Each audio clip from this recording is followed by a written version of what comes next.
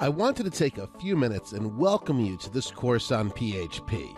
Relax, you're in the right place. This course is about building. It's going to enable you to build large scale software systems like e commerce sites and membership sites. It's also going to empower you to be more confident with technologies already written in PHP, like WordPress. We're going to start at the beginning, so you'll do fine in this course even if you've never written a line of code before. If you're coming with experience in another programming language, you're welcome here as well. You'll find the review of foundational PHP helpful. We're going to start this course by writing your very first PHP script. We're then going to set up your web server and learn how to integrate HTML and PHP together.